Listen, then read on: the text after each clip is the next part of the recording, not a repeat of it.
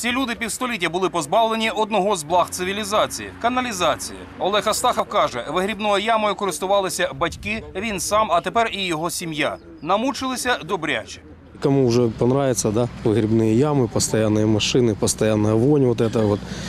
Сейчас отлично, я думаю, будет очень хорошо и должны жить достойно. Центральная канализация. У вересні справа зрушила з мертвої точки. Допомогло колективне звернення мешканців до народного депутата Костянтина Павлова. Спільними зусиллями з міською владою вдалося розпочати ремонтні роботи. Нельзя было не отреагировать э, на те просьбы, с которыми приходили ко мне жители улицы Тихвинская и Нагина на приемы граждан, для того, чтобы в конце концов и в их домах была центральная канализация.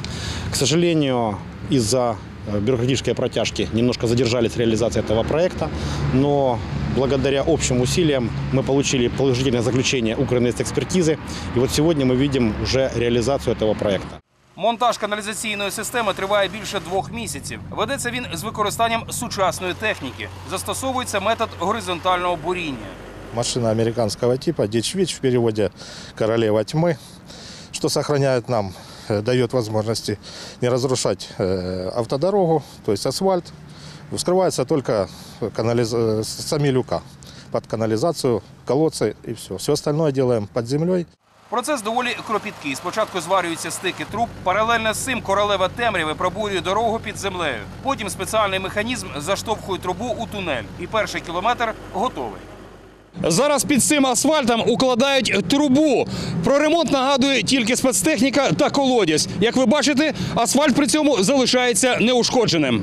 Тепер мешканці будинків можуть не хвилюватися. Дорога чиста, можна ходити та їздити і не чекати місяцями, аби зарили котлован.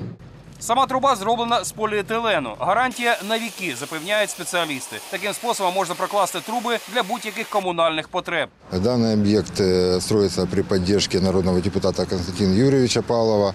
Э, Юрий Григорьевич Вилкул непосредственно участвует, контролирует э, процесс работ, чтобы мы не останавливались и в сроки успели закончить к Новому году, сделать людям подарок. До центральної каналізаційної системи підключать чотири двоповерхові будинки по вулиці Грекова та дитячий садочок. Мы ждали его, наверное, всю жизнь. Сколько здесь жили, столько и ожидаем. Так что, наконец-то. До каналізації зможуть підключитися і мешканці приватного сектора після укладення договорів з підприємством Кривбасводоканал. Ігор Кононенко, Влад Талалай, Вадим Діденко. Програма Місто.